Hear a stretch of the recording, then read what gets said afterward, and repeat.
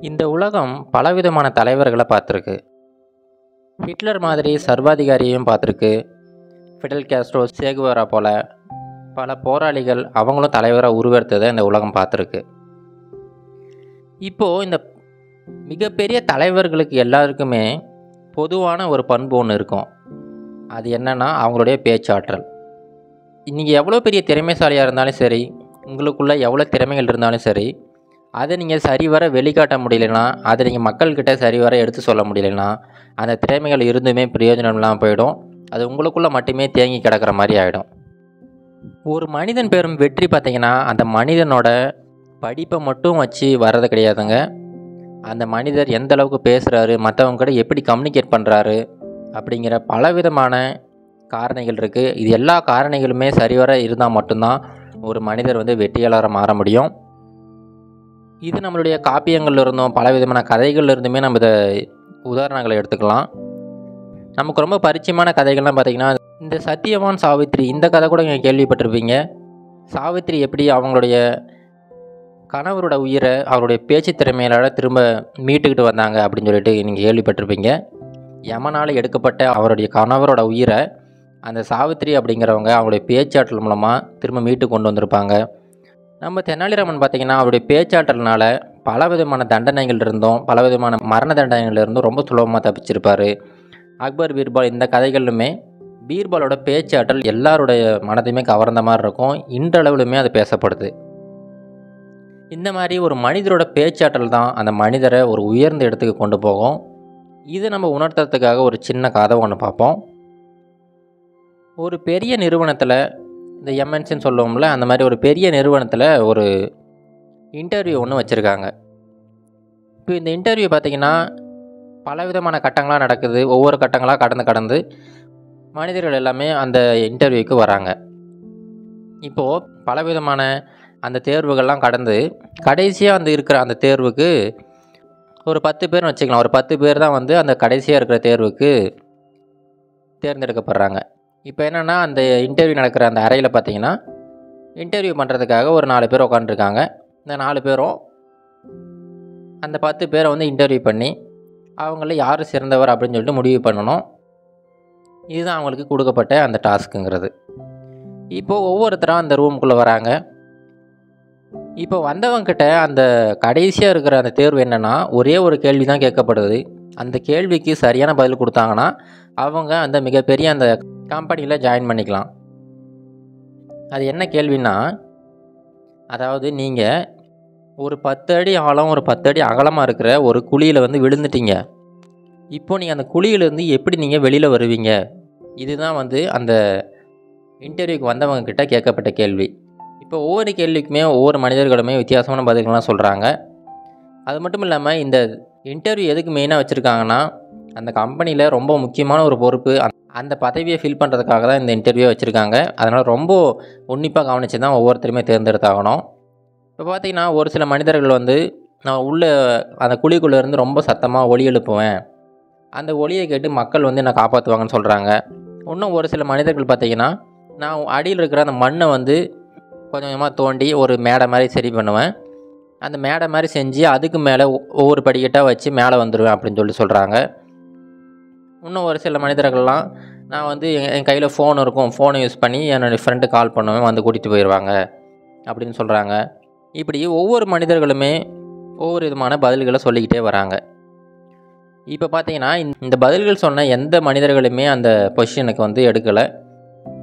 எல்லாருமே ரிஜெக்ட் பண்ணி வெளியில் அனுப்பிடுறாங்க. இப்போது எல்லாருமே போயிட்டாங்க. இப்போ கடைசியாக ஒரே ஒரு மனிதர் மட்டும் இருக்கார். அவர் தான் அந்த தேர்ந்தெடுக்கப்பட்ட அந்த பத்து பேரில் கடைசியாக இருக்கிற மனிதர். இப்போ அவருமே உள்ளே வராரு. இப்போ உள்ளே வந்தவர்கிட்ட இதே கேள்வி மறுபடியும் கேட்கப்படுது. இந்த மாதிரி பத்து அடி அகலம் பத்து அடி ஆழம் உள்ள ஒரு குழியில் நீங்கள் விழுந்துட்டீங்க. இந்த குழியிலேருந்து நீங்கள் எப்படி வெளியில் வருவீங்க அப்படின்னு சொல்லிட்டு கேட்கப்படுது. இப்போ அந்த மனிதர் வந்து நேரடியாக பதில் சொல்லாமல் இப்போ இவருமே ஒரு சில கேள்விகளை கேட்குறாரு. அது என்னென்னா இப்போ நான் ஒரு குழியில் விழுந்தேன்னு சொன்னீங்க இல்லையா? அந்த குழிக்கு பக்கத்தில் ஏதாவது மரம் இருக்கா அப்படின்னு சொல்லிட்டு கேட்குறாரு. அதுக்கு அந்த இன்டர்வியூ பண்ணுறவங்க வந்து இல்லைங்க அப்படின்னா மரம் எதுவும் இல்லை அப்படின்னு சொல்லி சொல்கிறாங்க மறுபடியும் கேட்குறாரு இப்போ நான் வந்து விழுந்தது பகலில் விழுந்தனா இல்லை இரவு நேரத்தில் விழுந்தனா? அப்படின்னு சொல்லிட்டு கேட்குறாரு இப்போ அந்த இன்டர்வியூ பண்ணுறவங்க இல்லைப்பா எதுக்கு இதெல்லாம் நீ கேட்குற நாங்கள் கேட்ட கேள்விக்கு மட்டும் பதில் சொல்லு அப்படின்னு சொல்லிட்டு சொல்கிறாங்க இப்போ அந்த கடைசியாக வந்தார்ல அந்த மனிதர் சொல்கிறாரு அது ஒன்றும் இல்லை சார் இந்த மாதிரி பகலில் வந்து நான் எப்போவுமே ரொம்ப உன்னிப்பாக இருப்பேன். எல்லா பக்கமும் பார்த்து சரி வர தான் எல்லா பக்கமுமே நடந்து போய்கிட்டு இருப்பேன் அதனால் நான் பகலில் அந்த குழியில் விழுறதுக்கான வாய்ப்பு ரொம்ப கம்மி. அது மட்டும் இல்லாமல் இரவு நேரத்தில் கூட பார்த்தீங்கன்னா அந்த இடத்துல எந்த ஒரு இண்டிகேஷனோ எந்த ஒரு மார்க்கிங்கோ இல்லாமல் இருந்தால் மட்டும்தான் அங்கே குழியில் விடுறதுக்கு வாய்ப்பு இருக்குது நான் எதுக்கு அந்த மரம் இருக்கான்னு கேட்டேன்னா இந்த மரத்தில் பழங்கள் இருக்குது அப்படின்னு சொல்லிட்டு மேலே ஏறி பறிக்கலாம் அப்படிங்கிற அந்த எண்ணம்லாம் எனக்கு எதுவுமே கிடையாது. மற்றவங்க பொருளை எப்போவுமே நான் வந்து திருடவோ மற்றவங்க பொருளை அவங்களுக்கு தெரியாமல் அபகரிக்கவோ நான் நினச்சது கிடையாது. ஒருவேளை அங்கே மரம் எதுவும் இருந்திருந்தால் நான் வந்து மரத்து மேலே ஏறி பழம் பறிக்க ஆசைப்பட்டு அந்த கிளை உடஞ்சி கீழே விழுந்து கிளை கீழே விழுந்திருப்பேன். ஆனால் ஒருவேளை மரம் இருந்தாலும் சரி இல்லைனாலும் சரி நான் அந்த மாதிரி வேலைகளை செஞ்சுருக்க மாட்டேன். இப்போ சொல்லுங்கள் நான் வந்து விழுந்தது இரவலியா பகல்லையா அப்படின்னு சொல்லிட்டு கேட்குறாரு இப்போது அந்த இன்டர்வியூ பண்ணுறவங்க சொல்கிறாங்க நீங்கள் விழுந்தது பகலில் தான் அப்படின்னு சொல்லிட்டு சொல்கிறாங்க இப்போ அந்த மனிதர் சொல்கிறாரு அப்படிங்களா ஐயா அப்படின்னா நான் வந்து கண்டிப்பாக விழுந்திருக்கவே மாட்டேன். ஏன்னா பகல் நேரத்தில் நான் எப்போவுமே உன்னிப்பாக தான் இருப்பேன்.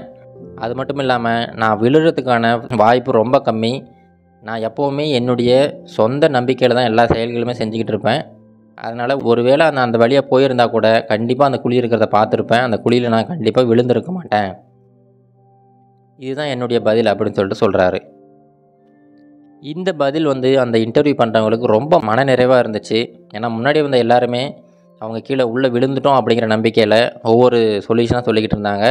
ஆனால் இவர் மட்டும் அவங்கக்கிட்டேயே சில கேள்விகள் கேட்டு கடைசியில் நான் கண்டிப்பாக குழியில் விழுந்திருக்க மாட்டேன் அப்படின்னு சொல்லிட்டு ஆணித்தனமாக ரொம்ப நம்பிக்கையாக சொல்கிறாரு இந்த ஆளுமை இந்த பேச்சாற்றல் தான் இந்த பொசிஷனுக்கு ரொம்ப முக்கியம் அப்படின்னு சொல்லிட்டு முடிவு பண்ணுறாங்க அதுக்கப்புறம் அந்த மனிதரை அந்த முக்கியமான அந்த பொறுப்புக்கு தேர்ந்தெடுத்து அவரை வந்து அந்த கம்பெனியில் ஜாயின் பண்ணிக்க சொல்கிறாங்க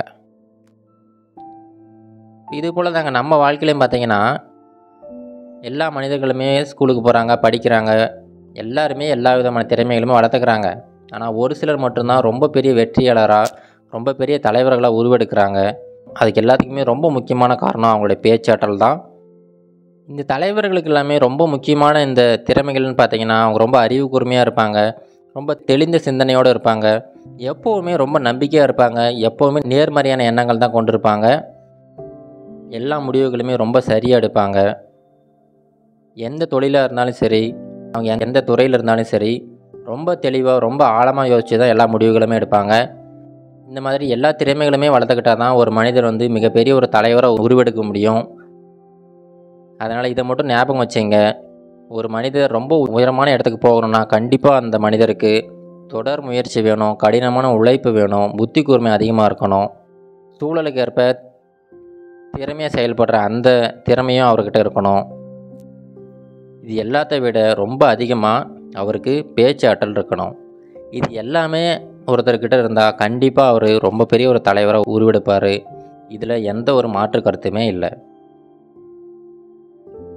இது கரேஜ் டு ஆக்ட் மோட்டிவேஷன் கதைகள்.